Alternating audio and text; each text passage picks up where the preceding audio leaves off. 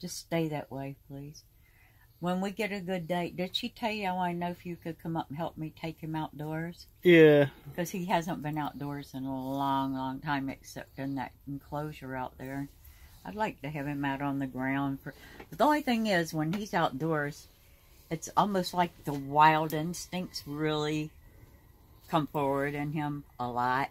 He gets really hyper and he gets twitchy and he wants to take off and go and he's hard to catch really when he's on full flight but his his natural instincts kick in because he's not out in the yard that often now he's a challenge to that's why we'll have he goes out he'll have to have a plastic tote close by to throw his butt back in Yeah. it I would assume. because you really gotta chase him down he'll go like a maniac he's the one that chased that guy at in the yard. That stranger walked up and me and Crystal were out there.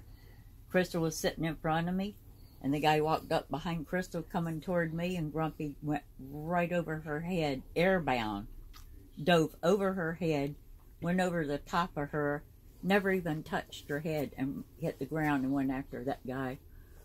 So he's he's very protective.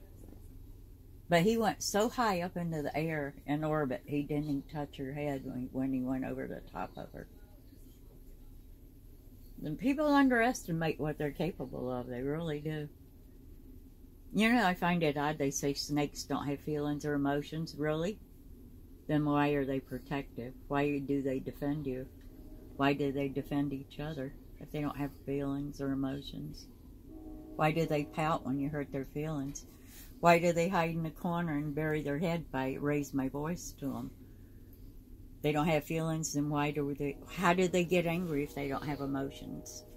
These are things people, if they really heard the things they said about them, you sound like a complete idiot.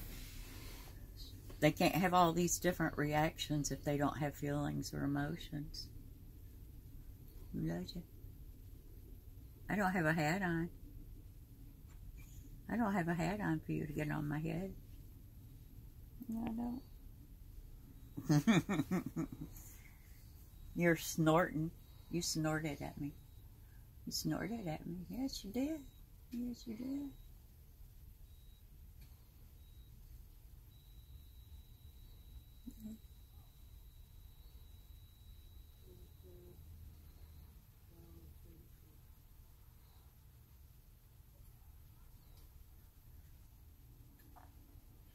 I don't have a hat on.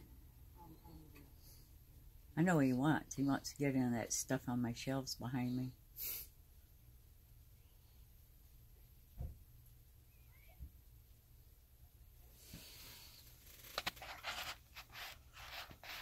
Where are you going?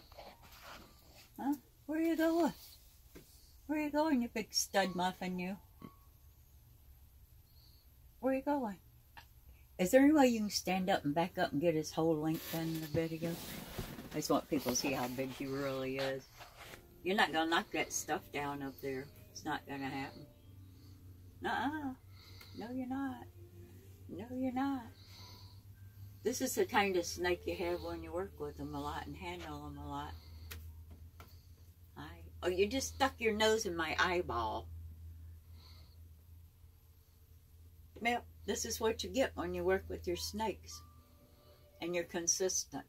You do it often. He's dying to knock that basket off up there. Look. That's all my mail. I don't want you to dump all my mail on top of my head. Huh?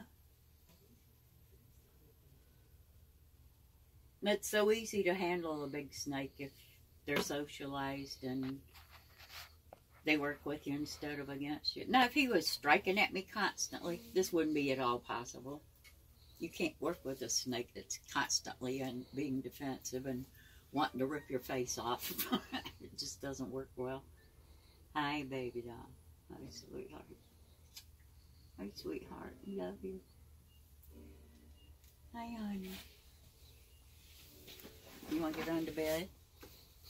Want to get under bed? Want to go see your friend over there? He's like, nope, I'm gonna burrow under this pillow. He might be looking for Ben. I'm gonna run away. You can stop it, huh?